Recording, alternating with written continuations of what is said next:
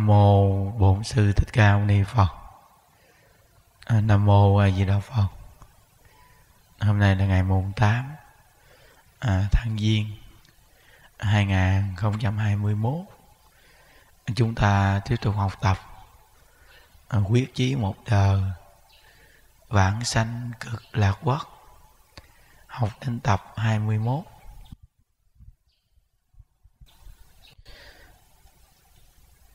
Những đức đọc một công đoạn à, lời dạy của ấn tổ.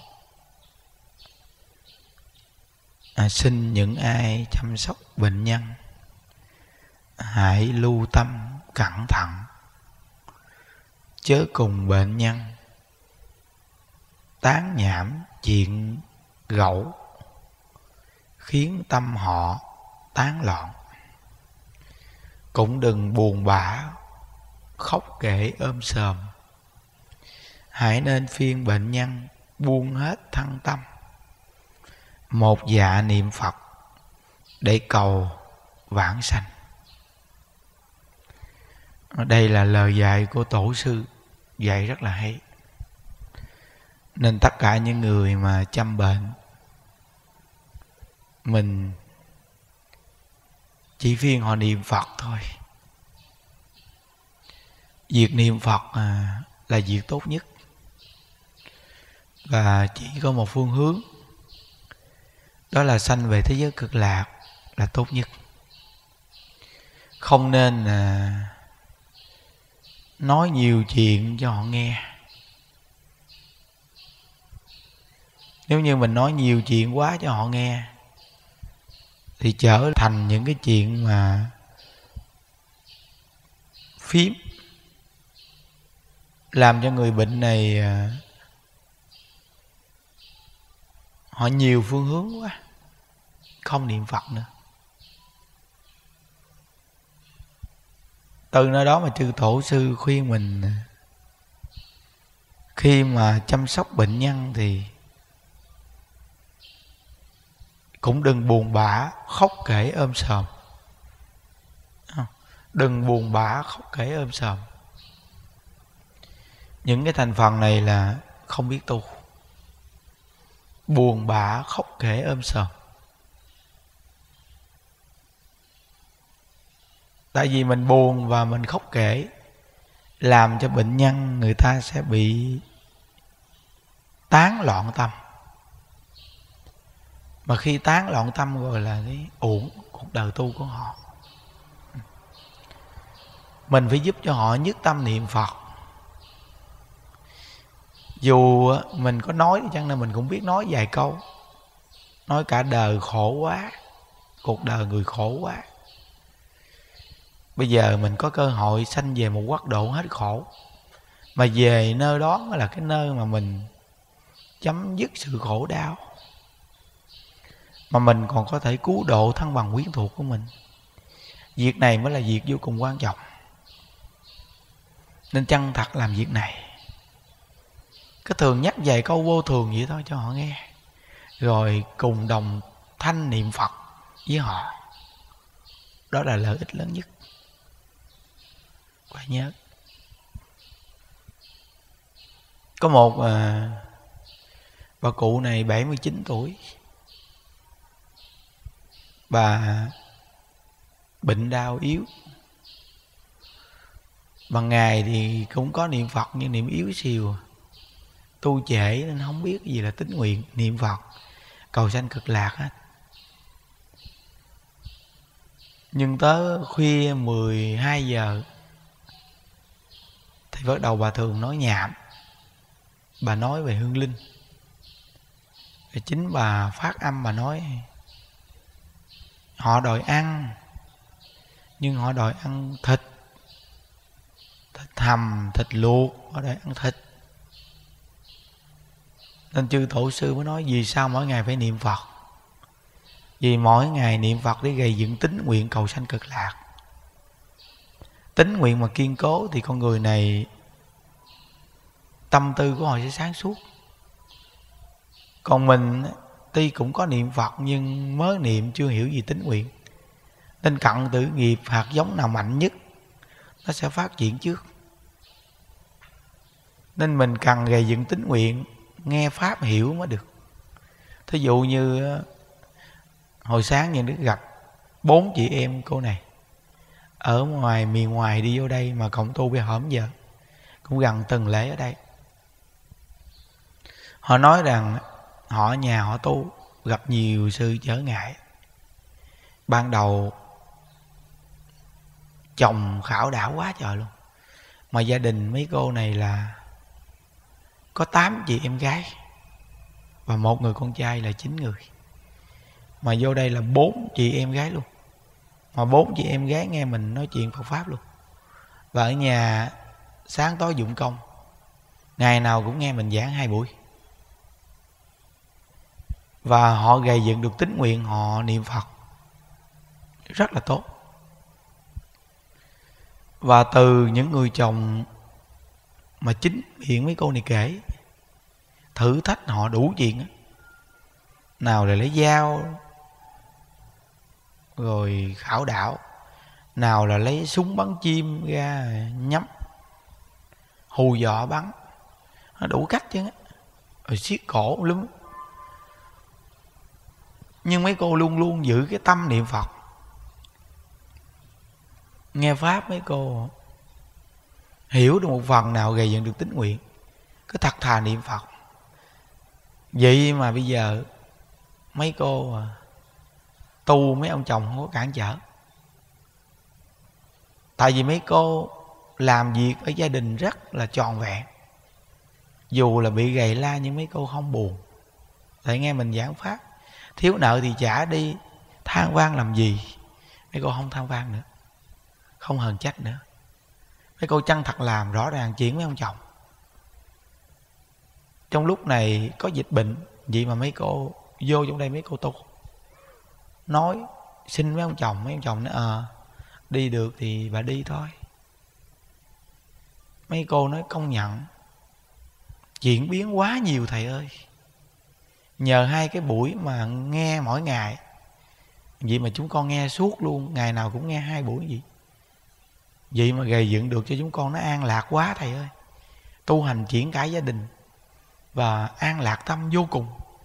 Bây giờ như chúng con có con đường để đi, thì coi thấy không nên những đức nói rằng là một người mà có thể mỗi ngày niệm phật nhưng mà không có hai thờ này để kích động và giúp cho mình gây dựng tín nguyện, người này niệm phật yếu nhất. Tuy niệm phật niệm cho yếu nhất à. Đụng chuyện gì cái là sợ ghê lắm. Không có cái thử thách ở trong phật pháp để giúp cho mình định tâm, thì tức khắc yếu nhất thật sự rất yếu. Nên mình là người niệm phật, gây dựng được tính nguyện, thì phải gặp cái gì mình cũng run, cũng sợ, không phải. Mà mình cũng không phải là mình không run, không sợ, rồi cái mình kêu căng, ngã mạng không phải. Mà trong nội tâm mình rất bình tĩnh, niệm phật. Mình biết cái việc gì đến với mình là điều có nhân có quả hết. Và mình tin niệm phật là nhân, thành phật là quả thì tức khắc tâm bình khí hòa. Người này sẽ niệm phật rất là ổn định. Nhớ. Người ta tu hành mà gặp bao nhiêu sự thử thách. Chồng đòi siết cổ, lấy dao cắt cổ, lấy súng bắn chim nhắm bắn. Vậy mà đủ thứ sự việc trở ngại. Vậy mà tu bây giờ chuyển với ông chồng hết trơn luôn màu sáng nói chuyện với cô vui thiệt là vui. Thấy không? Rõ ràng Phật pháp cứu đời tôi đúng quý vị. Đó. Mà không phải ít người đâu, nhiều lắm á. Rất là nhiều người đã nghe những đức nói chuyện hai buổi này họ nói. Mỗi ngày mà hai buổi này mà nghe được thì tâm bồ đề kiên cố. Mà chỉ có niệm phật không không nghe, không tiếp nhận, tức khắc là bị thối chuyển liền. Tại những văn tự này những đức đọc lời chư tổ sư. Có âm đức nằm bên trong vậy, cái miệng mình là phàm phu nhưng lời dạy là chư tổ. Nếu nghe mà chịu tiếp nhận mà những đức lại rút tỉa những tinh hoa chính dễ hành trì nhất, xác thực nhất để hướng dẫn. Nên sự lợi ích này lớn lắm. Lớn lắm đấy quý vị. Ừ. rất là nhiều người gặp những đức họ nói, ở nhà thôi, vậy mà nghe, vậy mà hành đạo tu, vậy mà gặp bao nhiêu sự trở ngại đều vượt qua được hết. Hay không? Cư sĩ ngoài đời thôi nên mình phải biết trân quý kìa. Nó phải biết trân quý thì nó mới lợi ích. Trân quý cái pháp đó. một phần thành kính là được một phần lợi ích mà. Thành kính cái pháp mình đang tu. Thành là chân thành niệm một câu phật hiệu. Kính là cung kính. Đức phật a di đà lời dạy của đức bổn sư thích ca mâu ni. Mà đã là kính vô đó thì mình từ đâu mà mình mình hiểu được? Là nhờ người chỉ điểm. Thì mình phải có tâm cung kính lắng nghe. Để chăng thật hành trì thì đó là cái tâm trả ơn đền ơn. Chứ con có kêu quý vị lễ lại gì chứ.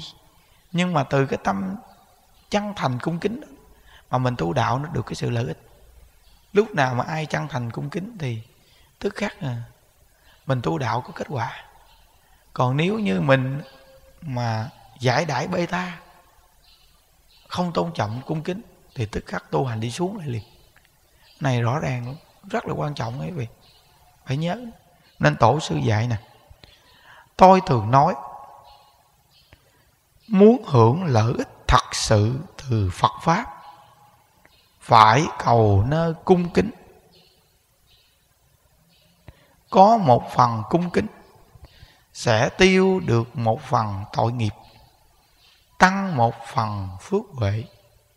Có mười phần cung kính, sẽ tiêu được mười phần tội nghiệp, tăng mười phần phước huệ. Nếu chẳng cung kính đến nỗi khinh mạng, thì tội nghiệp càng tăng, phước huệ càng giảm. Buồn thai đây là lời tổ sư ấn quan dạy đấy quý vị.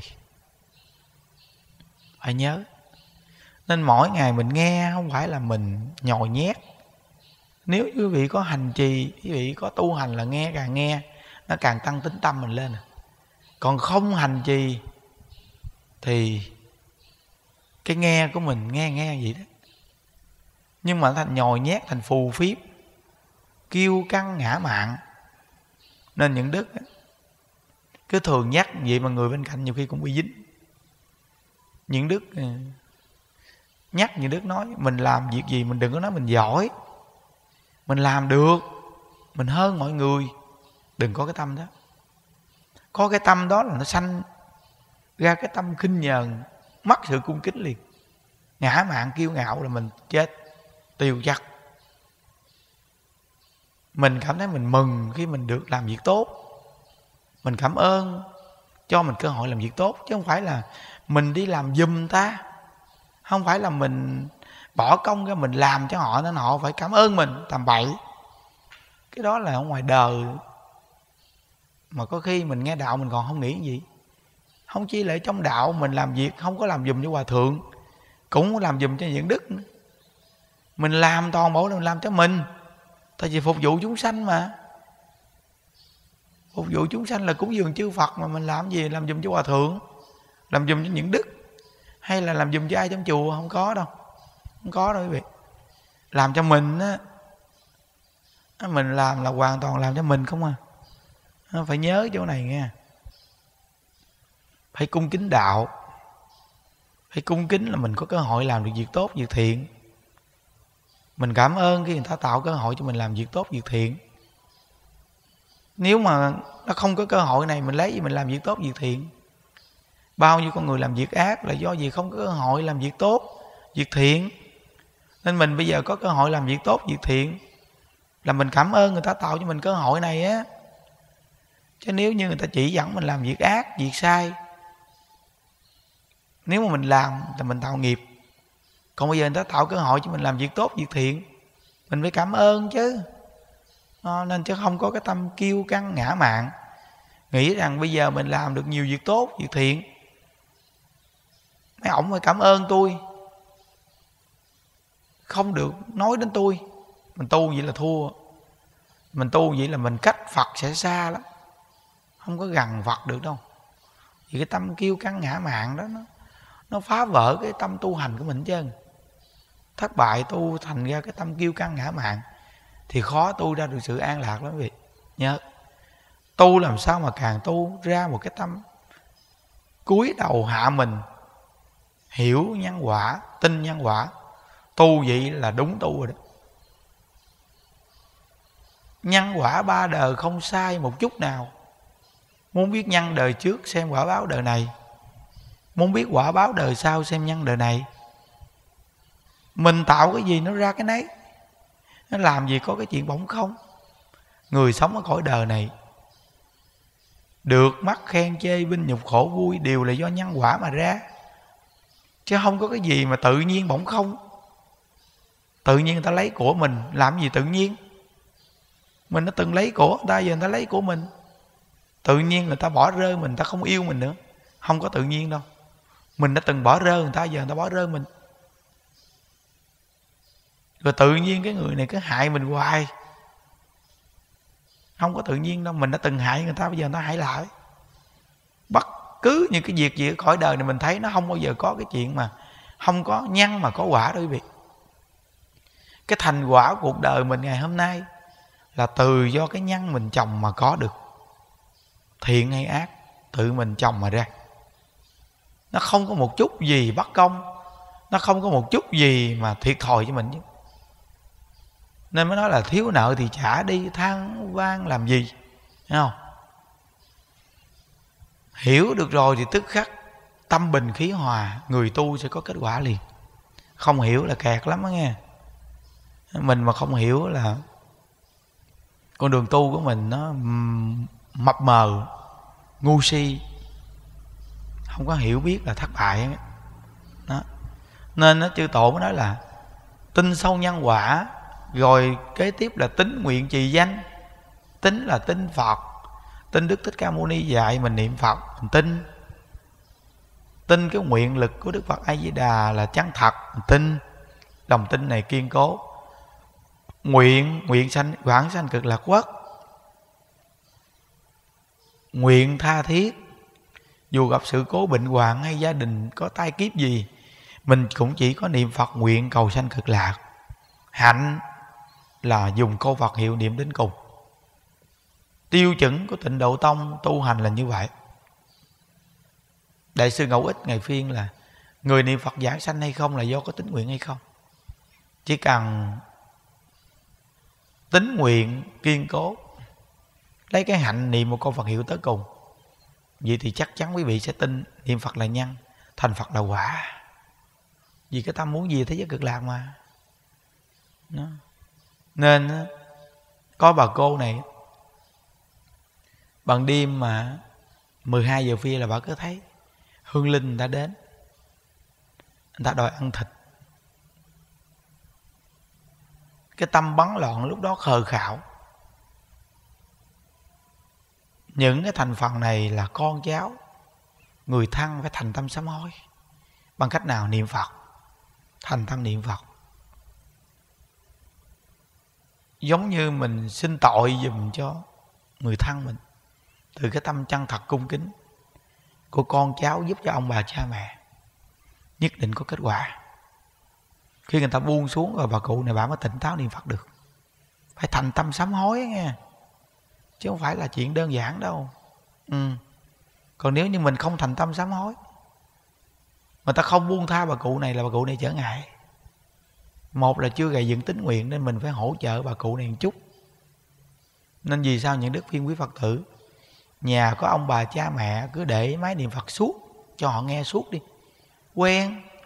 Rồi mỗi ngày mình dũng công mình tu. Giống như là mình nguyện quán thân chế chủ của ông bà cha mẹ mình.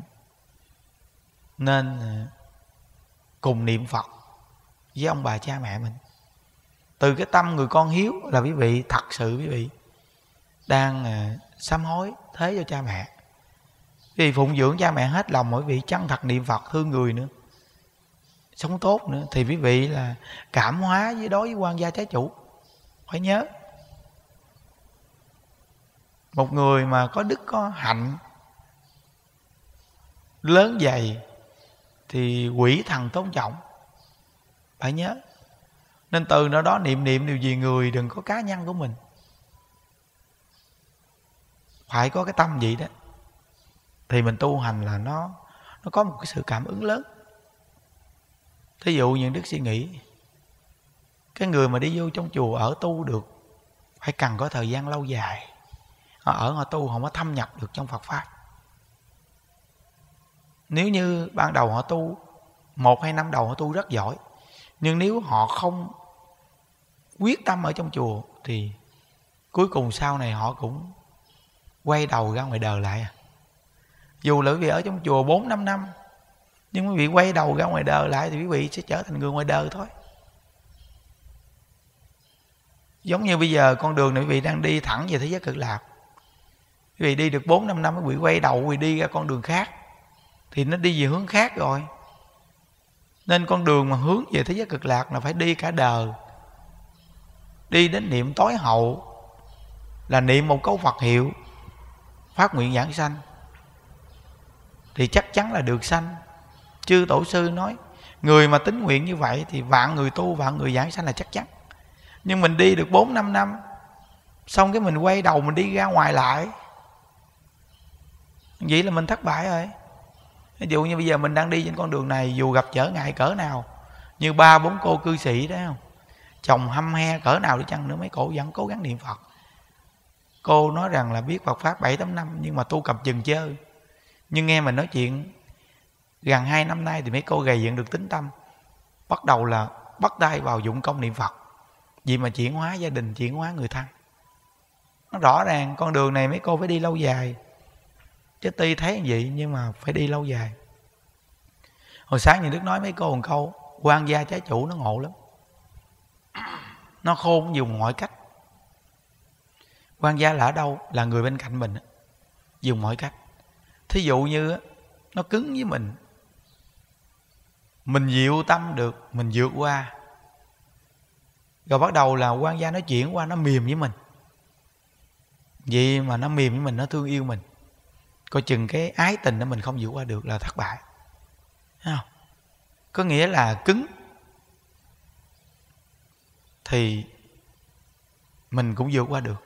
Nhưng mềm là ái tình thì mình cũng na ná thương yêu nhưng mà mình biết nó là không có thật. Vì tình cảm ở thế gian này có duyên thì đến mà hết duyên thì xa thôi. Vợ chồng thương yêu cỡ nào cũng phải xa thôi. Hiểu được nguyên lý này rồi thì mình không bị cái cõi trần này dụ dỗ, quyến rũ mình, hiểu không? Thì mình giữ được bộ đề tâm kiên cố thì mình tu mới có kết quả. Phải nhớ, những điều này rất là quan trọng quý vị à. Nếu mà mình mà không nắm cái chỗ này là mình thất bại trên con đường tu liền đó, quan gia trái chủ người ta cũng dùng mọi cách để khảo đảo mình. Nhưng mà mình giữ được cái tâm mình chỉ có một cách là niệm phật tới cùng luôn. Phát nguyện cầu sanh cực lạc kiên cố. Giữ tính nguyện cho thật kiên cố có vật hiệu này đi đứng nằm ngồi siêng niệm là quý vị có kết quả liền à. Chắc chắn quý vị tu là có kết quả liền. Còn nếu mà mình không giữ cái tâm này kiên cố là mình thất bại. Thất bại. Tu hành dù giỏi cái nào giỏi nhưng mà cuối cùng nó hướng đến chỗ tự lực tu là mình thất bại nghiệp quả nó mạnh.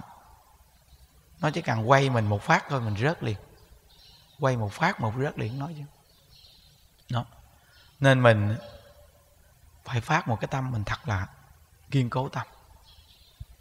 Đó. gặp Phật pháp á, muốn tu lâu dài là mình phải cảm giác rằng Phật pháp này có một cái lợi ích gì lớn lao lắm. Rất là lớn lao. Giống như chư tổ phiên mình phải có tâm thành kính này. lễ tụng trì niệm giống như mình đi lên chánh điện, mình lễ phật, mình tụng kinh, mình trì chú, mình niệm phật. Nếu không thành kính, có khác gì hát tuồng. Những trò khổ sướng, buồn vui đều là giả trang không? mà cung kính bằng cái cách nào? Bằng cái tâm mình, cảm giác mình mừng khi gặp phật pháp mừng khi gặp phật pháp. Và mình trân quý phật pháp. Mình biết phật pháp cứu cuộc đời mình. Mình vừa cảm ơn cái người hướng dẫn mình tu, biết ơn cung kính. Cung kính bằng cách nào? Là chân thật trì niệm tu hành. Gọi là chân thành niệm phật đó. Nhớ. Đã có cái tâm biết Phật pháp là lợi ích có tâm cung kính. Vậy thì mỗi thời mình lên tu, mình sẽ có cái tâm chân thật. Dù là mình còn vọng niệm, nhưng mình rất là vui sướng khi mình được lên chánh điện mình tu. Một thờ tu là chất lượng một thờ chứ không ai ép buộc mình hết. Mình đi tu mà ai ép buộc mình? Tự mình phát tâm với ép buộc gì? Mình biết mình lên chánh điện tu là có lợi ích, mình biết một trăm phần trăm là lợi ích, nên mình phát tâm, chứ không phải ai ép mình cái tâm tu một thời xong nó an lạc, nó vui. Quan hỷ khi mình được lên chánh điện tu. Vậy thì tức khắc sanh ra công đức liền. Tâm đó gọi là tâm cung kính. Một phần cung kính được một phần lợi ích. Mười phần cung kính được mười phần lợi ích. Còn nếu như không có tâm cung kính, thì tổ sư nói, có khác chi hát tù. Những trò khổ sướng, buồn vui đều là giả trang. Giả giả thì không có lợi ích. Nhớ có những người người ta tụng kinh mướn, tụng kinh niệm phật cũng vì tiền. Cái này là giả trang. Mà chư tổ nó là khổ sướng buồn vui, giả trang. Thì họ cũng được cái lợi ích tụng kinh, niệm phật, lễ phật, mà họ có được lợi ích là có tiền. Còn mình lên, mình không vì tiền mà mình phải có cái tâm vui vẻ, chân thật, không có cái tâm mà ngao ngán. Tại vì mình, nếu mà mình lên chánh điện mà mình cảm giác được cái lợi ích thì mình không có ngao ngán. Còn mình nghĩ rằng bữa nào cũng lên có được lợi ích gì thì tức khắc ngao ngán. Mà cái tâm ngao ngán đó là quý vị không có được cái lợi ích giải quyết được cái vấn đề nghiệp chướng đâu. Phải có tâm cung kính đó nó mới giải quyết được vấn đề nghiệp chướng, hiểu không? Nó phải nhớ nhớ những điểm này thì tức khắc mình có cái tâm tu, mình quý vô cùng. Còn nếu không là mình sẽ bị thất bại. Nhớ. Những điều mà chúng ta chia sẻ đây, từ cái tâm nhớ phật, cái miệng niệm phật, rồi cái nguyện của mình sanh cực lạc. Đúng như cái đề tài mình học là quyết chí một đời, vãng sanh cực lạc quốc mà phải giữ cái tâm tu lâu dài. Tu cả đời không thay đổi. Nhớ quý vị cố gắng. Dù là sự cố xã hội cỡ nào nghe tin bệnh tình gì cách ly gì chúng ta cứ lão thật chân thật mà nhớ phật, niệm phật. Yên tâm đi. Đừng có dao động tâm. Dao động tâm là nghiệp duyên có thể, nó giao kết được với mình. Nó nói là tính tâm dao động thì không được giảng sanh. Phải giữ cái tâm kiên cố, nghe không? Ai chỉ đạo phật, hôm nay học đến đây. Nguyện à, đem à, công đức à, này hướng à, về không à, tất à, cả đệ tử và chúng sanh, đồng sanh về tịnh độ.